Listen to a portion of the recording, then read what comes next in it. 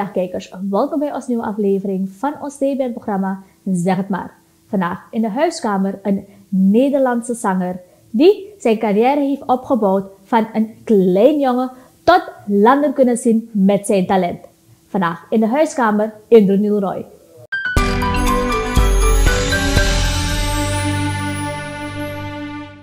Welkom Indro Dankjewel Janita.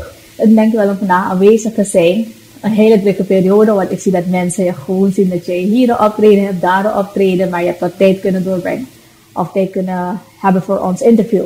Um, als ik um, jouw bio heb mogen lezen, mm-hmm. natuurlijk zangcarrière, landen mogen zien, we komen daar zo meteen in. We willen eerst weten, wie is Indra Nieuwroy?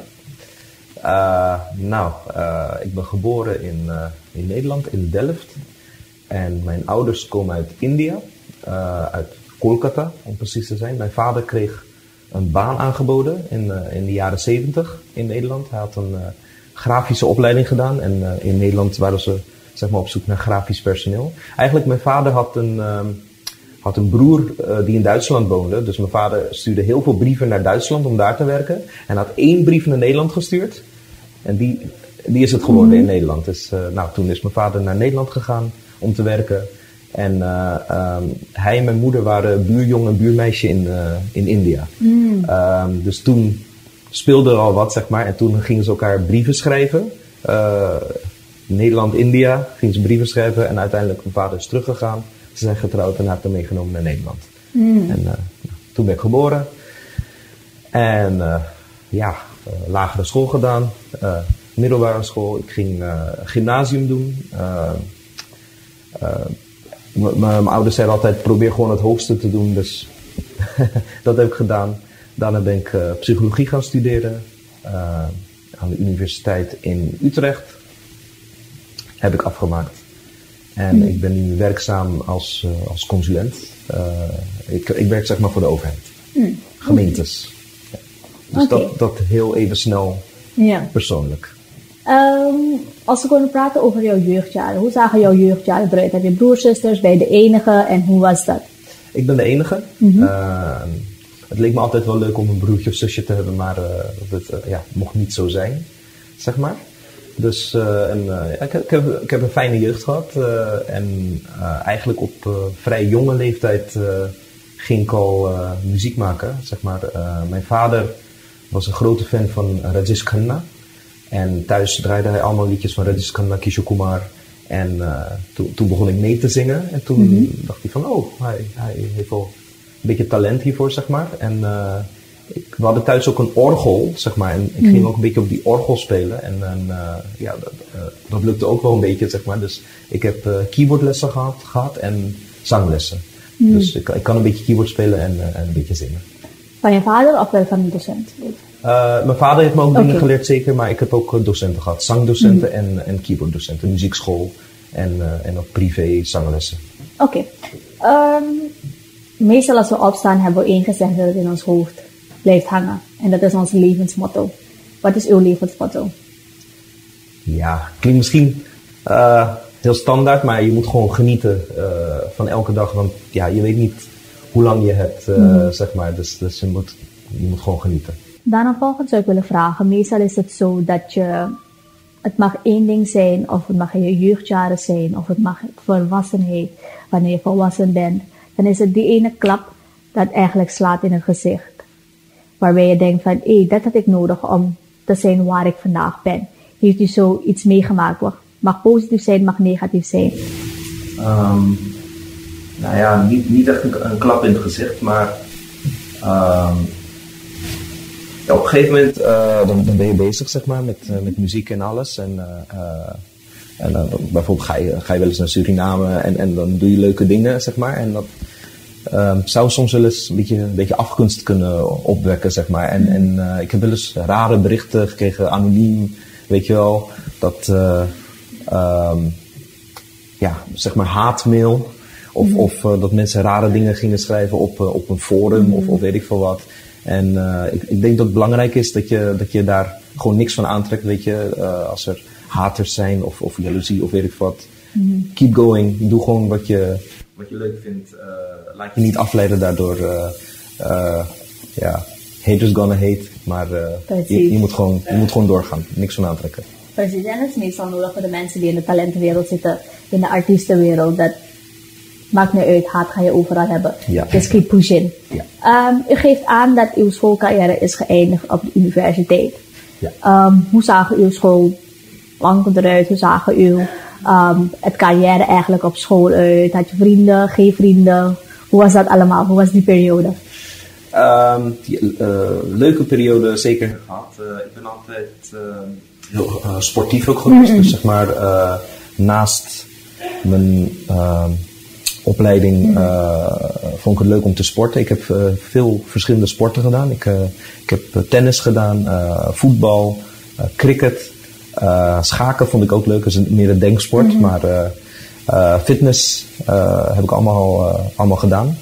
En ja, op een jonge leeftijd was ik al bezig met muziek. vanaf mijn veertiende zeg maar, kwam ik in bandjes terecht. En ehm, mijn ouders zeiden altijd, bandje geen probleem, maar, maar je school mag niet onderlijden. Mm -hmm. Dus ik zorgde ervoor dat ik elk jaar overging, zodat ik gewoon door kon, gaan, door kon blijven gaan met mm -hmm. muziek. Dus veel muziek, veel sport, en uh, natuurlijk altijd uh, je cijfers mm -hmm. goed houden, zeg maar. Ik ben nooit blijven zitten. Dus ik heb wel um, iets, iets langer gedaan over mijn studie, zeg maar. Maar dat was ook een beetje een bewuste keuze, zeg maar. Dat mm -hmm. ik mhm. gewoon wel binnen de tijd blijf, zeg maar. Maar dat ik ook gewoon alles ernaast kan doen wat ik, wat ik wil. Zeg maar. Dus ik, heb, ik heb alles goed kunnen doen. En ja, ik heb ook altijd goede vrienden gehad. Ik heb in het bijzonder één jeugdvriend, zeg maar, die, die, die nog steeds uh, een van mijn beste vrienden is, zeg maar. En uh, ja, dus uh, ja. Dat is ja. Oké. Okay. En had je een idool toen je opgroeide? Mijn nummer één idool is altijd Kishore Kumar geweest. Mm.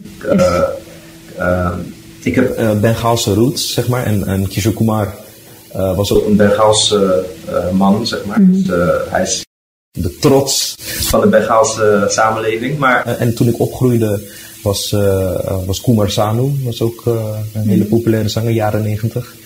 En, en van de tegenwoordige zangers zou ik zeggen Sonu Nigam en, en Arijit Singh. Dat, dat zijn wel mijn, mijn favorieten. Dat, die kun je zien als idolen. En, maar ook Mohammad Rafi, uh, Lata Mangeshkar, Asha Bhosle, Shreya Ghoshal, noem maar op. Uh, al, allemaal prachtig. Maar okay. nummer één idool uh, altijd Kishore Kumar. Oké. Okay. Um, meestal beginnen heel veel mensen op een jonge leeftijd om te beginnen met zakcentjes verdienen. Um, het mag zijn op de middelbare school of sommigen na hun studie, dan beginnen ze met hun eerste job. Ja.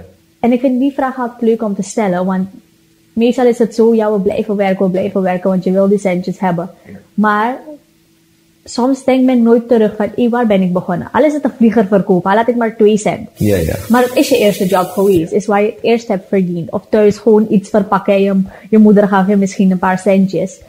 Maar het is en blijft je eerste job. Had u zo'n job? Um, nou, eigenlijk, omdat ik al van mijn mm 14e ging zingen, zeg maar, uh, uh, werd mm dat, uh, zeg maar een zakcentje. Maar ik heb ook een paar bijbaantjes gedaan. dat is echt een vriend van mij werkte, werkte zeg maar, bij een, een pompstation. Zeg maar. En daar, daar heb ik dan even vakantiewerk gedaan. Dus gewoon afrekenen wat we hadden getankt. Dat heb ik een beetje gedaan. En ik heb ooit ook een beetje, maar ook niet lang, ik heb ook een beetje maaltijden bezorgd gewoon. Gewoon leuk, een beetje rondrijden, een beetje maaltijden bezorgen. Maar beide waren, heb ik niet echt lang gedaan. Ik heb nooit, niet echt vakantie banen of, of banen daarnaast echt nodig had, zeg maar, omdat ik ook zakcentje kreeg uh, vanuit, vanuit het zingen, zeg mhm. maar. Dus, uh, en dat is wel altijd leuk. En ja. dan, dan zie je ook van dat talent ergens ook zakcentjes binnenbrengt, ja. ongeacht.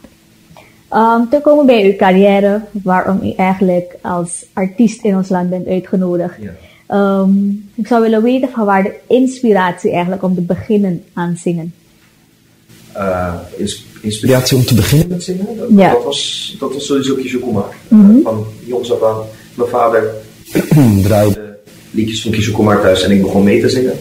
En toen, uh, ja, op mijn veertiende uh, ben ik uh, door zeg maar een oom ben ik uh, in aanraking gekomen met uh, zeg maar de Hindoestaanse muziekwereld uh, en, en Suriname, zeg maar. Um, mijn vader, dus um, toen ik zes jaar was, verhuisde het gezin, zeg maar, mijn gezin, verhuisde naar Krimpen aan de IJssel. Ik was geboren in Delft mm -hmm. en daar heb ik de eerste zes jaar gewoond. Toen verhuisden we naar Krimpen aan de IJssel, daar wonen we nog steeds.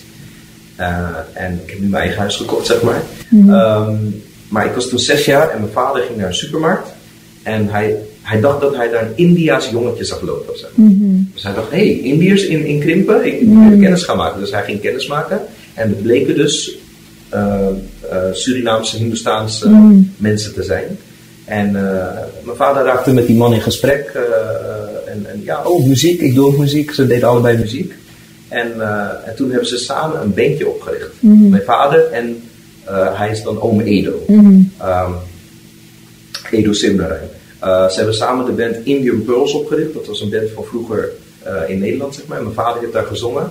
En Ome Edo was van het mixen en ook een beetje conga spelen en, en, zo. En ja, en toen ik 14 was, toen wilde Ome Edo een jongerenband oprichten. Mm-hmm. en ja, hij probeerde mij als zanger en zijn eigen zoon ging drummen. En uh, dat was bedoeld als tweede band naast Indian Bros. Mm-hmm. Zeg maar. Maar op een gegeven moment uh, ja, ging die jongere band goed, goed draaien. Dus toen heeft uh, Omedo gezegd, Indian Bros, kunnen jullie zelf doen? Ik ga verder met die jongeren. Mm-hmm. Zeg maar. En toen, ja, zo is het een beetje begonnen, doordat mijn vader iemand heeft aangesproken in de supermarkt. Mm, Oké, okay. dus eigenlijk is uw zangcarrière begonnen op een leeftijd van 14. Ja, en daarvoor zong ik al wel. Uh, uh, bijvoorbeeld voor onze Bengaalse gemeenschap, mm-hmm.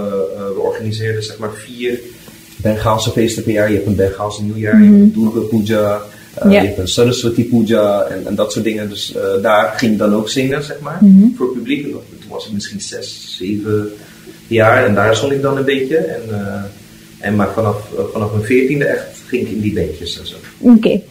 U gaf aan dat u bent begonnen met zanglessen en u heeft dat allemaal gedaan. Hoe zag die periode eruit? Hoe zagen uw zanglessen eruit? Hoeveel keren moest u oefenen per dag?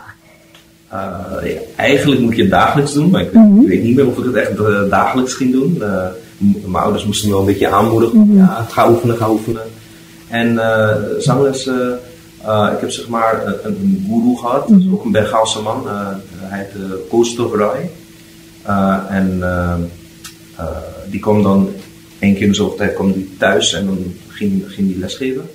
Uh, en op een gegeven moment vanwege gezondheidsklachten kon hij niet meer uh, lesgeven, zeg maar. En toen ben ik bij een leerling van hem ben ik verder gegaan. Dat was Rishi Dhier. Um, bij hem heb ik ook zanglessen gevolgd. En, ik, en zeg maar om kennis te verbreden, zeg maar, uh, heb ik ook zeg maar, zanglessen gehad op uh, echte muziekscholen, zeg maar, maar gewoon westers. Dan ging ik Mhm. Nederlandse liedjes zingen, Engelse liedjes. Gewoon Mhm. dat, om ook daarvan te leren, zeg maar. Mhm. Dus uh, ja. Ja, om de stemkleur natuurlijk ook in andere dan. Ja, uh, gewoon en ook om Ja. bredere, Ja. bredere kennis op te doen. Dus, uh, Oké. En als we denken aan de naam Indronil Roy, Ja. welke richting van zang zouden we kunnen denken? Is het de gala? Is het R&B? Je noemt het maar op, wat er allemaal is. Uh, Als we echt denken aan Indronil Roy. ja, um, sowieso Bollywood, Mhm. Bollywood songs. En uh, eh, ik moet zeggen, ik hou het meeste van de, de romantic songs, de love songs en ook de sad songs. Mhm. Ik vind uh, sad songs ook heel mooi. Um, zeg maar, in het leven is niet altijd happy en romantic en alles. Ja. Sad, sad is ook een onderdeel van het leven. En, uh, en, en bij sad songs vind ik dat er ook heel veel gevoel bij komt kijken. Uh, dirt, dirt, zeg maar. Dus ja, ik hou heel, heel veel van sad songs. Klopt, want meestal happy songs, dan blijven we lachen, dan beginnen we te dansen op de liederen, maar de sad songs is precies waar je die lyrics dan snapt. Ja, ja, ja. dan begin je dan diep te kijken van, oh, dat is wat die persoon zingt. Want dan Maar begin je lyrics te snappen en het gevoel. Ja, happy songs, dance songs vind, ik ook, vind ik ook leuk, zeg maar. Maar uh, wat me het meest Mhm. raakt, zeg maar, is denk ik toch de sad songs en, de, en de love songs. Hmm, Ja. Oké. En waar heeft u allemaal mogen reizen met uw, in uw zangcarrière? Welke landen heeft u mogen zien? En wat zou u denken van, oké, dat was de beste show die ik ooit heb neergezet? Like, I'm proud of it. Ah, oké, oké. Ehm, nou ja, sowieso begonnen in Nederland. Oké. En, Mhm. eh, en van daaruit eh, ook, ook eh, optredens gedaan in België en in Duitsland. Mhm. Mijn vader had ook bepaalde connecties in, eh, in België en Duitsland, dus daar zijn we ook vaak geweest. En op een gegeven moment eh, eh, kwam ik dan in de band, eh, zeg maar, en worden ook wel eens trips georganiseerd naar Spanje, zeg maar. Eh, daar heb je misschien wel eens van gehoord, eh Joret de Mar. Dan eh, vertrekken allemaal bussen vanuit Nederland naar Spanje. Nou, daar heb ik dan ook een paar keer opgetreden. En ja, Suriname kwam toen ook, zeg maar. De, de eerste band met wie ik naar Suriname ging, dat was Indian Express. En eh, ehm, ja, en door de jaren heen, ik ben denk ik meer dan twintig keer naar Suriname geweest voor, eh, Mhm. voor optredens. En ja, het is elke keer eh, fantastisch om mee te maken. En eh, de, de uitschieters zijn ja, dan misschien toch de grote shows in, in NIS, zeg maar. Als, eh, als, als eh, Anthony Nesty Sporthal, als dat een beetje vol zit, dan, eh, dan is dat wel bijzonder. En ehm, ik heb ook een bijzondere tour meegemaakt naar eh, Trinidad en Tobago. Dat was met eh Ashley Matadin. Die was eh, toen heel, heel populair daar. En ja, die, kon, die kon niet normaal over straat lopen daar. Dus Dat was wel leuk. En daar, daar heb je dan ook in volle stadions staan. En met mijn eerste band Get Rhythm zijn we ook een keer naar New York geweest. Dat was in samenwerking met Apache Waria. Die, eh, die was laatst ook in Suriname, begreep ik. Maar eh, in samenwerking met, eh, met hem zijn we dan ook met de band Get Rhythm ook naar New York geweest. Dus ik denk eh, ja, New York, Trinidad, Tobago, Suriname heel vaak. En, en dan Europa, België, Duitsland, Nederland, Spanje. Ja. Hm, Oké. En als we denken aan, ja, noem het maar op, like, die ene droom waarbij je zegt van met die persoon wil ik op het podium staan. Wie zou dat moeten zijn? Nou, ik, eh, ik heb in Nederland, eh, het is al een beetje uitgekomen zeg maar. Ik heb in Oh, ik heb in, Nederland eh, in het voorprogramma mogen zingen van Sonu Nigam Mm. en van Udit Narijn. En, en ik heb ze backstage mogen ontmoeten. Dus het is wat dat betreft al een beetje uitgekomen. En ja, en ja Kishore Kumar is overleden toen ik jong was. Dus Mm. Ja. dat, dat zou een ultieme droom zijn geweest. Maar ik ben heel blij dat ik, dat ik op hetzelfde podium heb mogen staan als, als Sonu Nigam en Mm. Udit Narijn.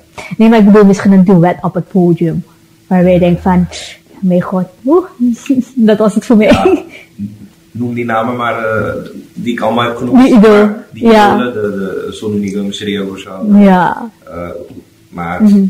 eh, ik, ik ben al blij dat ik op hetzelfde podium heb mogen Mhm. als, als Udit en. En, en Ja. ik, heb een, ik heb een childhood foto met uh. Toen hij was uh, komen optreden in Nederland. Eh, eh, op een of andere manier was geregeld dat, eh, dat ik dan een foto kon maken met Mhm. Kumar Sanu. En, eh, die, die heb ik ook eh, gepost op mijn Facebook. eh, die is daar, Mhm. daar te vinden. Ah, oké. Ehm, hoe zou u muziek beschrijven die heden ten dagen wordt beluisterd door heel veel jongeren, oudjes, je noemt het maar op. Maar hoe beschrijft u muziek tegenwoordig? Ik, ik, weet niet of het, of het nostalgie is, maar ik, ik, ik, weet niet. ik vond de muziek van vroeger vond ik toch wat meer hebben dan, dan de muziek van tegenwoordig. Als ik gewoon bijvoorbeeld kijk naar Mhm. Bollywood muziek. Dan, Dat is een periodiek. Uh, natuurlijk, er wordt nu ook mooie muziek gemaakt en vroeger ook, maar ik weet niet, misschien omdat ik uh, ben opgegroeid met die liedjes van vroeger, Mhm. maar uh, voor mij kan er niemand, niemand tippen aan, aan de jaren 70, 80 van Kishore Kumar, Lata Mangeshkar. Dat, Mhm. dat blijft voor mij de, de mooiste periode in de muziek, maar ook de jaren 90 met, uh, met Kumar Sanu en uh, Nadim Shravan. Ja, Alka Yagnik. Anka Yagnik, uh, Anurag precies. Ehm, dat zijn zeg maar mijn twee favoriete periodes uit de muziek. eh, jaren 70 en jaren 90. Mhm. Dat, eh, en nu natuurlijk, er komen ook mooie liedjes uit. Vooral Sonny Lingam, Arijit Singh, dat zijn mijn favorieten Mhm. dan. Maar voor mij was toen... Dat, Ja. dat is je genre meer. Oké. ehm, meestal wordt er nu muziek gemaakt waarbij, ja, je kan zeggen, driekwart van de lyrics periodiek zijn. Als we praten over de jaren 70, 80, je mag het nu zien op de Instagram Reels, um, TikTok.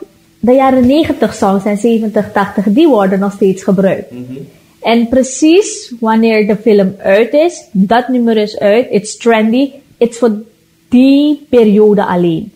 Maar als ik misschien denk aan vijf jaren later, gaan we nog steeds van 70 en 80 jaren gebruiken.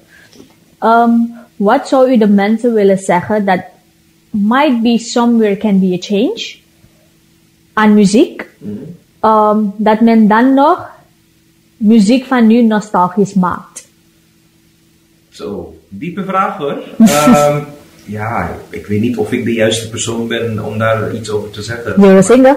Ja, ehm, maar misschien leuk om te vermelden. Zeg maar, ik heb tot nu toe eh, bijna alleen maar cover songs gedaan. Maar ik wil eh, eh, dit jaar ook proberen om original tracks uit te brengen. Zeg maar, mijn vader heeft geregeld dat er een aantal liedjes voor mij zijn geschreven in India. Dus de music en lyrics zijn in India gemaakt. En, en ik ga proberen om, om dit jaar nog een aantal original songs te releasen. En dan ja, kijken of ik zo mijn steentje kan bijdragen aan uh, originele muziek. Dus uh, dat, dat is een van de dingen die ik graag wil doen uh, dit jaar. Ik weet niet of ik daarmee je vraag beantwoord, maar... Nee, maar oké. Oké, okay, maar originaliteit. Dat, ja, dat, dat, dat, dat nostalgisch blijft. Dus dat is uw hoop, dat het niet trendy gaat zijn. Ja. Oké. Okay. Um, muziek tegenwoordig, als we luisteren, um, is het meestal zo dat er bepaalde lyrics zijn waarbij de editor die soms niet weghaalt. Er zijn heel veel uitschatwoorden als we praten over de Engelse muziek. Um, wat zou u men willen aanraden? Want er zijn soms kleintjes en dan plotseling hoor je ze naast je diezelfde lyrics zingen en dan ben je like, bro, wat doe je? Maar het is gewoon muziek en het ligt gewoon aan jou of als je het nou wil luisteren of niet. Of aan de ouders wil ik dat laten beluisteren aan mijn kinderen of niet. Maar soms ligt de controle ook niet bij de ouders. Het is gewoon wat ze op radio horen en je kan niets doen daaraan. Maar het ligt wel in de controle van de editor en de mensen die muziek zingen en maken. Wat zou u hun willen zeggen? Want geloof me, hoe je het keert of draait, soms verpest je de jeugd. Ja, maar ik denk dat je dat niet kan tegenhouden. Uh, mm. Weet je, um, maar muziek is voor iedereen, zeg maar. En uh, iedereen is vrij om te maken en uit te brengen uh, wat ze willen. En ik denk dat uiteindelijk het, het publiek het beslist, zeg maar. Want uh, als, als zo'n lied zeg maar, niet mm -hmm. aanslaat, dan, dan zullen ze ook niet verder gaan daarmee. Yeah. Maar ja, als, als het publiek het wil horen, dan gaan, gaan zij het ook maken, zeg maar. Dus mm. ik denk, het, het ligt allemaal in, in de handen van het publiek. Mm. Als je een liedje afkeurt, dan, dan zullen het niet zo gauw weer maken. En en ja, liedjes die een hit worden, ja, dat zal door blijven gaan, mm. denk, ik. Hmm, Oké. Okay. Um, als we denken aan Indril Roy, een vijfjaren plan. Wat is een vijfjaren plan? Uh, wat ik je net zei. Muziek, ja. Yeah. Dus, uh, originele muziek. Originele tracks uh, -hmm. uitbrengen. En ik blijf ook mijn coversongs ook doen, want mensen horen ook graag mm -hmm. coversongs. En ik ga proberen gewoon mooie muziek te maken en, en mensen te blijven entertainen. Mhm. -hmm ja, het klinkt misschien heel simpel, maar uh, elk optreden is anders. Uh, en en het, het, blijft altijd leuk om mensen een fijne avond te bezorgen als dat, als dat lukt. Mm. Via mijn muziek, dan uh, ja, is, dat, is dat mooi. Ja. Oké, okay. en misschien een droomland waar je zou willen optreden? Ja, nou ja, wie weet. ik, ik kom vaak in Dubai. En ik vind Dubai geweldig, dus wie, weet mm -hmm. als daar een keer wat mogelijk is. Of, of uh, in India. Uh, ja. Ik bedoel, uh, niet, niet Bollywood of zo, maar gewoon een concert. Een concert. Ik, um, ik heb wel een keertje een concert gedaan, zeg maar, voor onze wijk. Mhm. Zeg maar. Mijn vader had de installatie geregeld mm. en de muzikanten en alles. En mm. daar hebben we wel een keertje een concertje gedaan, zeg maar, voor de, voor de wijk. Zeg maar. Dus ja, leuk. Oké. Okay. Um, dit programma is eigenlijk om jongeren te motiveren dat ze iets worden in de maatschappij. U heeft uw studie afgerond, maar daarnaast heeft u ook uw talent opgepakt. U heeft hem niet laten liggen omdat er schooldrukte was. Ja. Maar u heeft de tijd kunnen maken om beide eigenlijk te doen. En ik blijf mijn kijkers en luisteraars zeggen, talent zit er in iedereen. Maar je moet er gewoon, je moet gewoon gaan opzoeken wat jouw talent is. En soms is het dat één, je hebt de schoolpapieren wel, maar soms is het je talent dat je verder brengt. En dat is soms nodig om die balans te kunnen houden. Um, met uw talent, u verdient uw zakcentjes. En dat is voor u extra. Want u verdient daarnaast ook, want u heeft uw baan. Maar u heeft uzelf kunnen plaatsen in de maatschappij. En dat is dan mooi. Maakt niet uit op welke leeftijd en kijk hoe jong u bent begonnen. Maar u, had, u was al bewust van dat wil ik doen. Jongeren van tegenwoordig, heel snel zie je dat de motivatie blijft dalen bij ze. Iets hebben ze meegemaakt en dat was het voor ze. U heeft het zelf gezegd. Concurrentie in de zangwereld is er heel veel. Tegenslagen is er heel veel. Haat is er heel veel.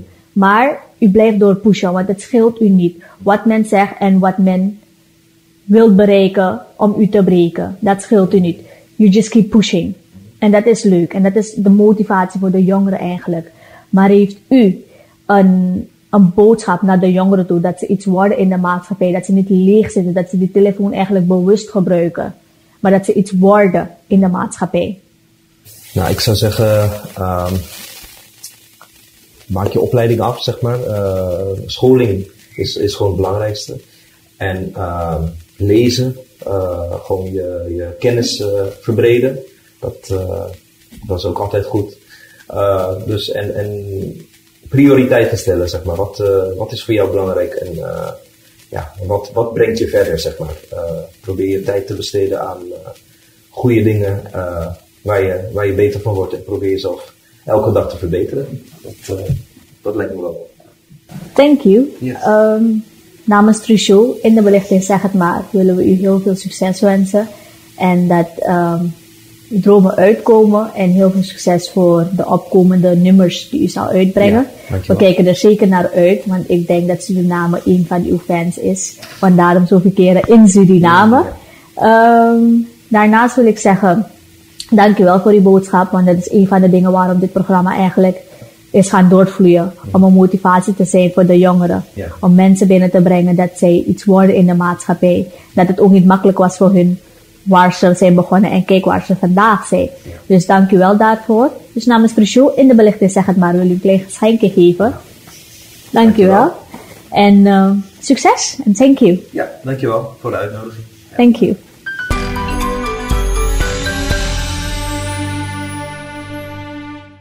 Wij zijn aan het eind gekomen van ons TBN-programma Zeg het maar.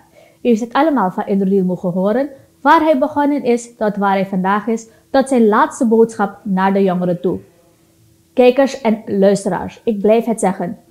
Als u iets wil bereiken in de maatschappij, is niets te klein. Ik blijf het zeggen.